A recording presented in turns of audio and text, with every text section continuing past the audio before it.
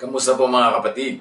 Pagpapala, greetings, besos, hugs, hugs ang dinadala ng inyong lingkod at dawa ang kagalakan ng Panginoon ang pumuno at pumapaw sa ating mga puso. Bakit maraming verses ginagamit as weapons of cruel destruction? Why is there such rampant and indiscriminate use of verses to hurt people, to judge others, to set people apart, to divide. Bakit ang mga verses na imbes na dapat ay pangbigay ng comfort, pang haplos, panghimas, para magbigay ng ginhawa, ay nagiging bato na lumilipad, tumatama, nakakasakit. Ang pag-aaral natin ngayon, pinamagatan nating all scripture, talagang lahat. How to read interpret and apply the letters in the Christian scriptures called the New Testament. 2 Timothy 3 14 to 16. But as for you, continue in what you have learned and have become convinced of, because you know those from whom you learned it, and how from infancy you have known the Holy Scriptures, which are able to make you wise for salvation through faith in Christ Jesus. All scripture is God breathed and is useful for teaching, rebuking, correcting, and training in righteousness. At ang verses natin ngayon na talagang bibigyan ng DNA, itong verse 16. Yung laging pag may gusto kang i-judge, pag may gusto kang batuhin, pag may gusto kang pakialaman, pagka meron kang gustong panghimasukan, pag may gusto ka i-demonize, sasabihin mo, eto yung verse na gagamitin ko laban sa iyo. Ito yung verse na gagamitin ko para ka i-judge. Tapos may kasunod. Kasi all scripture is God-breathed and is useful for teaching, rebuking, correcting, and training in righteousness. At ang ating pag-aaralan ngayon, how this verse 16 is misused and abused by many. Verse 14, As for you, Timothy, kasi si Timothy ang kinakausap, so a-analyze natin yung bawat bahagi ng sinabing ito. Continue in what you have learned and have become convinced of because you know from whom you have learned it. Meaning, it was from Paul that you have learned it. Sa akin galing yan, anak, katuruan ko yan, kaya ituloy mo kung anong itinuro ko sa iyo. In other words, Paul was saying, continue in what you have learned from me in how to read and interpret Scripture because you know me, your teacher and how from infancy you have known the Holy Scriptures. Meaning, pag Holy Scriptures, this is the Jewish Scriptures, or JS, or the Christian Old Testament, or the OT. Ginawa natin almost equal kasi hindi naman talaga equal ang Jewish Scriptures at ang Christian Old Testament na nasa Christian Bible. The Old Testament is not one-to-one correspondent equal to the Jewish Scriptures. There are differences in text, content, and books. And there are differences in translations, even in punctuation, canonical order, and emphasis. And remember, pag sinasabi dito sa letter kay Timothy na Holy Scriptures, hindi New Testament ang tinutukoy dito kasi hindi pa sulat na ng New Testament, hindi pa compiled, wala pang Holy Scriptures na New Testament. So ang tinutukoy ay yung Holy Scriptures of the Jews the Old Testament known by Christians, but remember, the Old Testament is not in one-to-one correspondence with, is not equal to the Jewish Scriptures. May mga pagkakaiba. So sa pagpapatuloy, the Holy Scriptures which are able to make you wise for salvation through faith in Jesus Christ. Ngayon, pinaghalo na nitong si Paul yung Holy Scriptures at si Jesus Christ. And how do you become wise for salvation through Jesus Christ? It's no longer through the law, not by works. In other words, not by way of the Jewish scripture. Sinala na.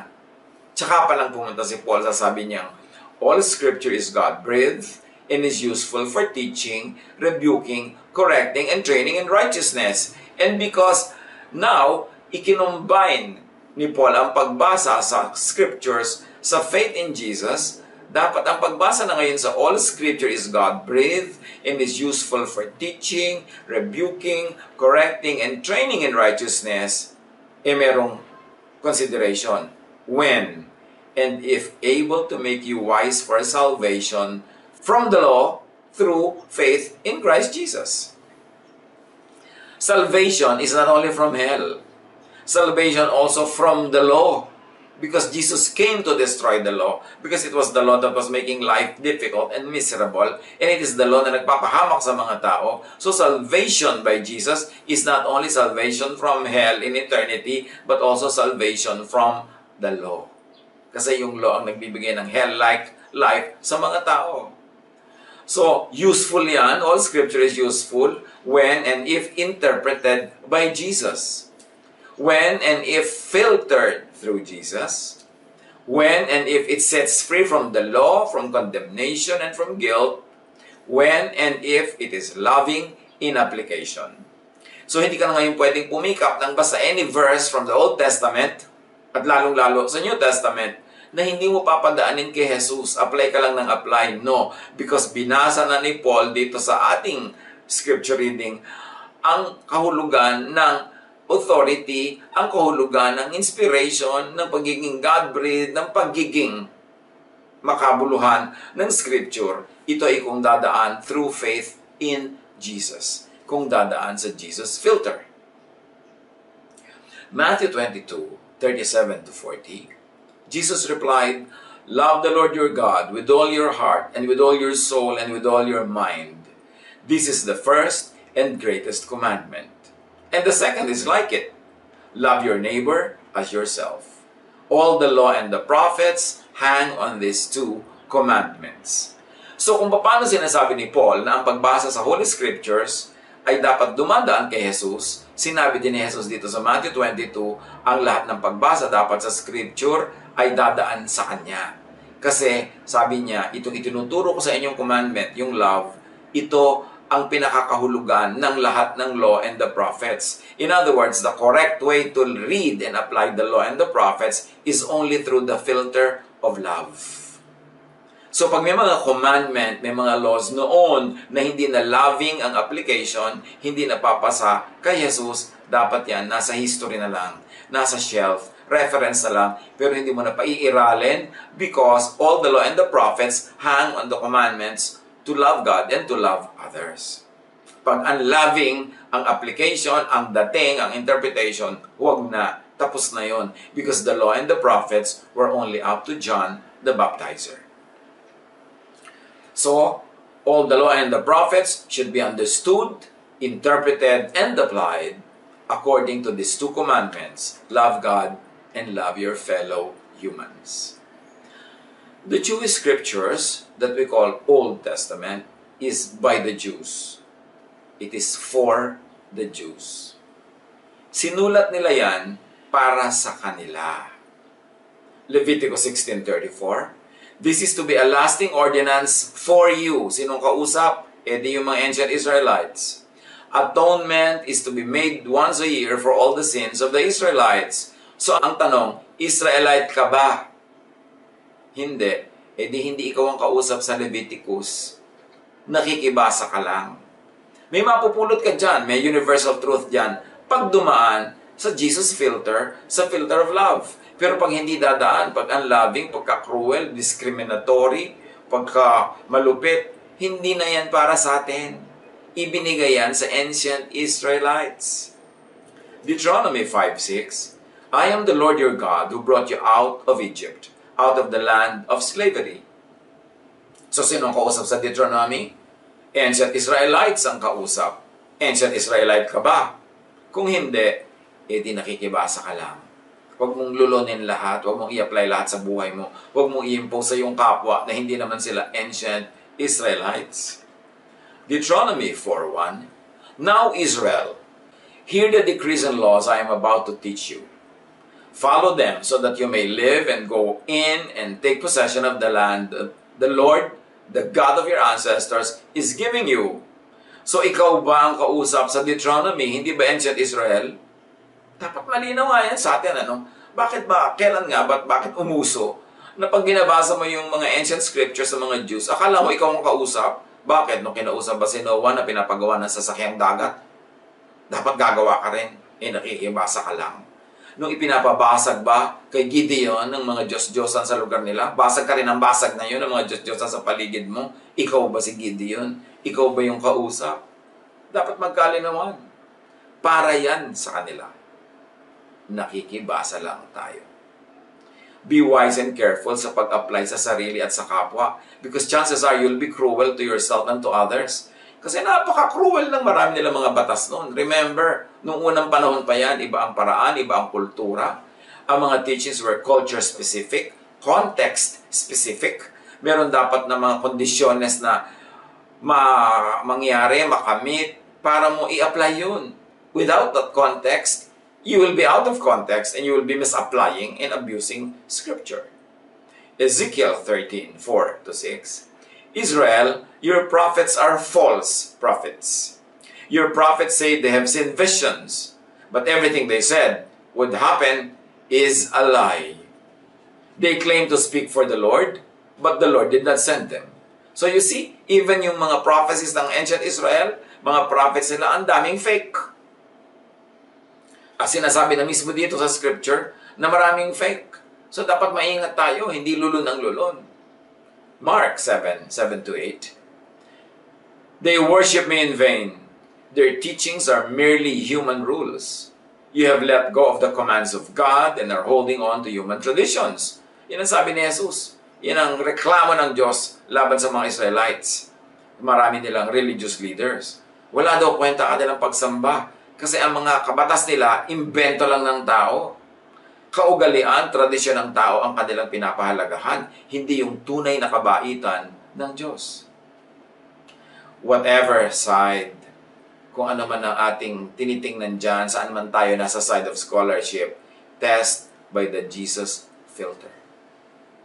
Test every scholar, scholarship, doctrine, test every theology, test every theologian, test every teaching in the Bible kung yon ay papasa sa Jesus filter. Kasi, kaya nga ipinadala si Jesus is to destroy the law, to set people free from the law. Tapos i-apply mo ngayon na parang ikaw yung sinabihan ng unang panahon, wala ka sa lugar. Parang hindi nangyari si Jesus. Binabaliwala natin ang sakripisyo ni Jesus. Kung patuloy lang natin, nalululunin lahat ang mga katuroan na hindi pinapadaan sa salaan ni Jesus. John 14.6 Jesus answered, I am the way and the truth and the life. No one comes to the Father except through me. So talagang kay Jesus dadaan. Kay Jesus dapat magpasala ang lahat, ang lahat ng katuroan, ang lahat ng ideya, ang lahat ng papaniwalaan. Nothing, no teaching should come to you except through me. That is what Jesus was really saying. So salain lahat sa Jesus filter. Alam na ng marami kung ano yung Jesus filter na yan. Yung lahat ng katuroan sa Biblia, before Jesus, during Jesus, and after Jesus, and during the 2,000 years of the past history of the church, lahat ng katuroan, lahat ng doktrina, lahat ng practice, salain kay Jesus.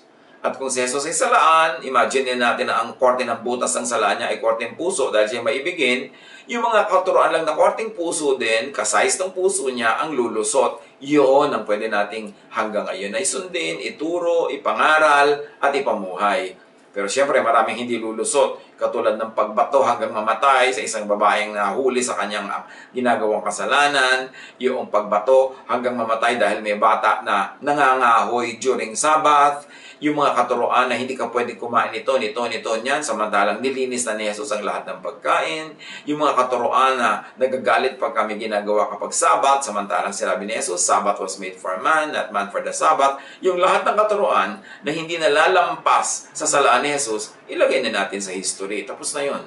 Jesus came to destroy the law. John the Baptist is the marker because all the law and the prophets were only up to John. Pagkatapos noon, wala na. Or, kung meron man, yun lang lalampas kay Jesus. Kasi si John ang tagahawi ng daan ni Jesus. Hindi naman si John ang salaan, kundi si Jesus. Mahalaga yung mga katuroan na yan ng unang panahon na reference para malaman natin for history, for information. Pero hindi na siya papairalin ngayon kasi nga nangyari na si Jesus setting us free from all the unloving and the cruel aspects of the law.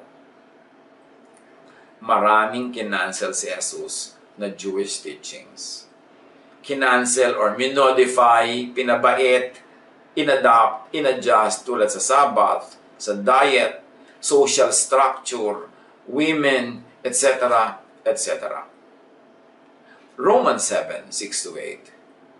But the law no longer rules over us. Now we can serve God in the new way by obeying His Spirit, and not in the old way by obeying the written law. In other words, pag may written law, sinasabi, batuhin mo siya, itiwalag mo siya, tanggalin mo siya, itrato mo siya as an unbeliever, itakwil mo siya, yun ang sinasabi ng law. Pero sabi, we can serve God in a new way by obeying His Spirit. Makinig ka sa sinasabi ng Spirit sa iyong puso. Sinasabi ng puso mo at sinasabi sa puso mo, wag, kawawa, mahalin, turuan, akayin, gamutin, tanggapin, linisin, pakabanalin, ibigin, yakapin. Yan ang sinasabi sa ng Spirit. So pag may sinasabi ang Spirit sa iyo na babait, ang pakinggan mo yung spirit, hindi sinasabi nung verse na cruel. Yun ang kahulugan nun. Ulitin natin, Romans 7, 6 to 8. But the law no longer rules over us. Now we can serve God in a new way by obeying His Spirit and not in the old way by obeying the written law. And yet up to now, ang dami-dami nating unkindness, cruelty, sa kapwa because we are obeying the written law at hindi tayo nakikinig sa udyok ng Spirit, the Spirit of love. Romans 6.14 For sin shall no longer be your master because you are not under the law but under grace. Isang bagay lang maintindihan ng mga Jesus followers yan, yung law at yung grace. Anong papairalin ko? Yung bait na idinidikta ng Spirito o yung lupit na sinasabi ng written verses, dapat ang pipiliin mo yung Spirit. Now we can serve God in the new way by obeying His Spirit. Tulad ng si Pedro, pinapakain ng Diyos sa kanyang vision ng mga bawal na mga kaining mga pagkain. Sabi nung voice, Arise, Peter, kill and eat. And Peter answered, Lord, I cannot eat an unclean thing. At sabi ng Diyos, don't dare to call unclean what I call clean.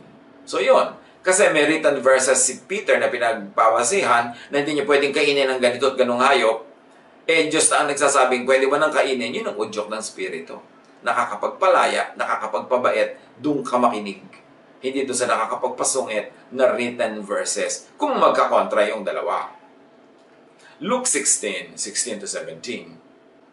Until the time of John the Baptist, people had to obey the law of Moses and the books of the prophets. So kita nyo, until the time of John the Baptist, nung dumating siya, hindi na kailangang sundin ang law of Moses and the book of prophets na kontra kay Jesus. Yung sangayon kay Jesus, tuloy, sundin, ipamuhay, kasi dadaan sa Jesus filter.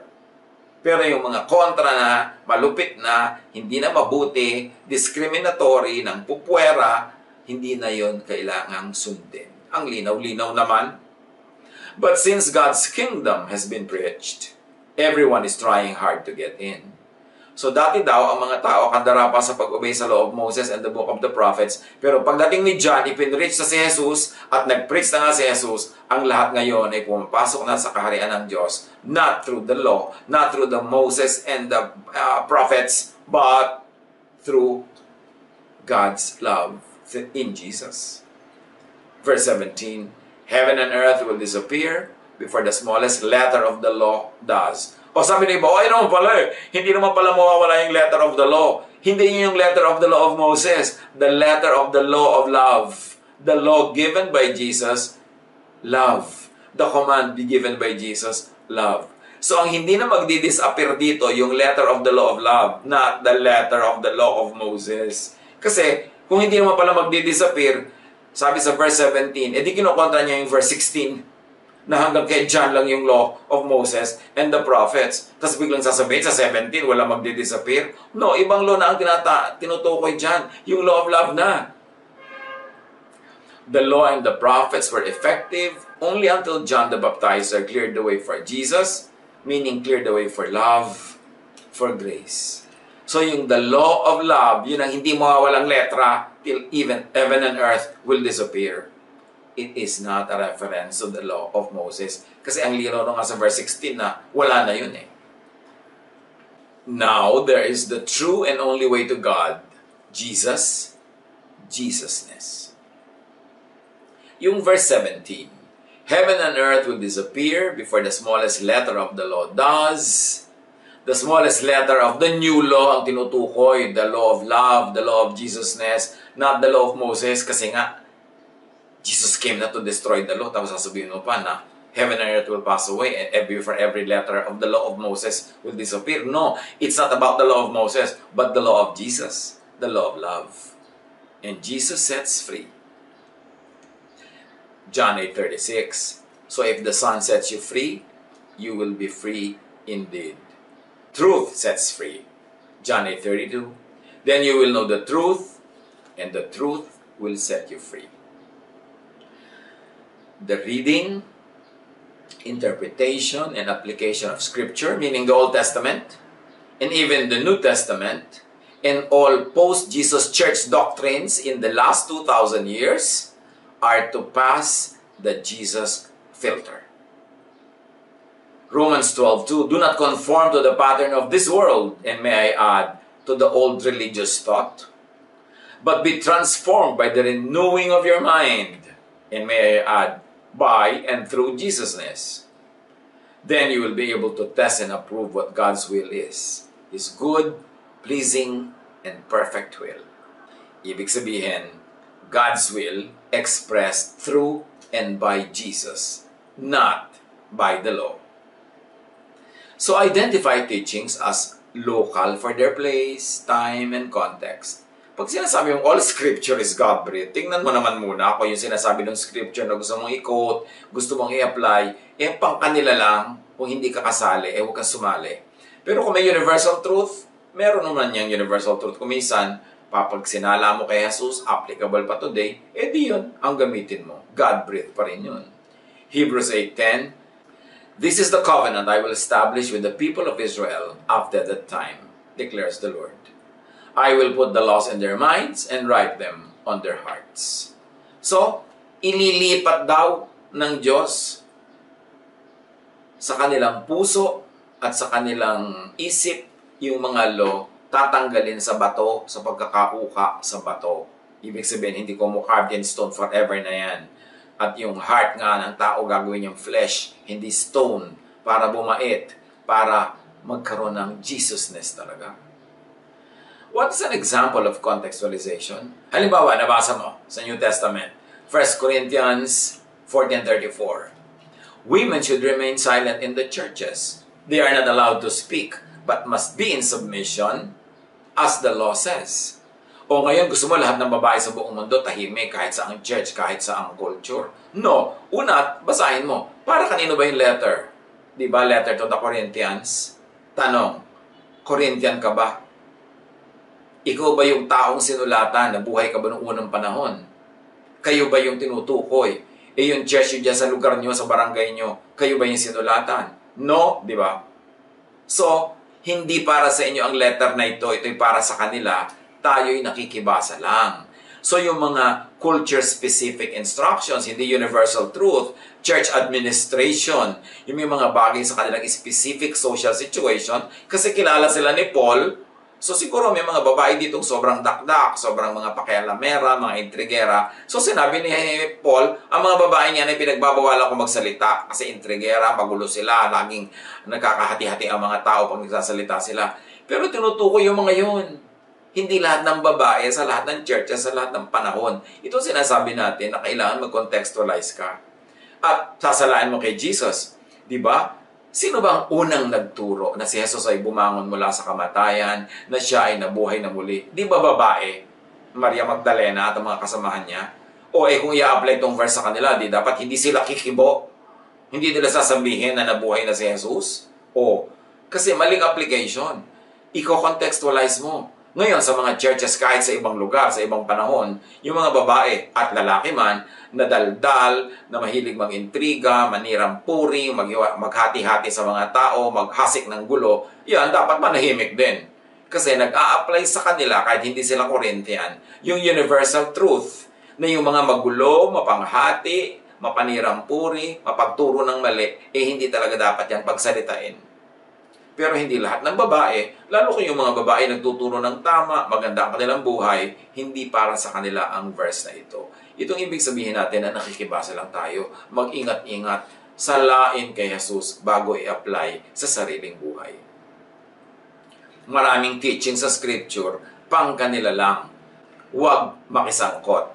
Ang magiging bunga, needless suffering, pagdurusa, paghihirap. Identify teachings as universal for all Jesus followers in all places, times, and context if the teaching will pass the Jesus test. Halimbawa, Matthew 28, 19, Therefore, go and make disciples of all nations, baptizing them in the name of the Father and of the Son and of the Holy Spirit. O yan, kasali tayo dyan kasi for all nations. Pero yung pang Corinthian lang, kanila lang yon unless yung teaching, mapipigaan mo ng universal teaching for all nations. And in that case, sa sinasabi natin yung babaeng pinagbawalan magsalita, pagka may mga babae o lalaki man na ang pagsasalita nila ay hindi nakakaganda, sila yung huwag pagsalitain, huwag bigyan ng speaking engagement, huwag bigyan ng teaching assignments kasi nakakagulo sila. Doon mo yun pwedeng i-apply. Tulad nung itinasabi ni Paul, ang mga babae dapat sa Corinth, mahahaba ang buhok, ang mga lalaki maiksi. Kasi may cultural meaning sa kanila yung long and short hair. But the short hair of women in Corinth is associated with prostitutes hindi ibig sabihin na sa lahat ng bansa pagka short hair, a prostitute. So pagbabawalan mo na ang mga Christian women in all countries na magkaroon ng short hair, hindi mo dapat i-apply yun sa iyo kasi hindi ka Corinthian at wala ka na sa culture ng Corinth nung araw na ang prostitutes were wearing short hair. Huwag apply ng apply. Identify teachings as contextual. Applicable sa ibang groups and places and times. Depende sa context ng nakikibasa lang na group. Kung ang angkop bagay sa kanila makakabuti, edi pwedeng hiramin at i-apply. Just the same sa lain sa Jesus Filter. Adopt and adapt to apply to local and personal context. Hindi pwedeng buong buo, lululunin, hindi pwedeng all scripture, a-apply mo sa buhay mo kahit hindi tugma, kahit nakakapag pasungit, kahit nakakapanakit, kahit nakakapagpahirap. Pag-aralan ang ibig sabihin ng all scripture na yon para mapabuti tayo sa pagbabasa ng scripture at hindi mapahamak. God bless us all.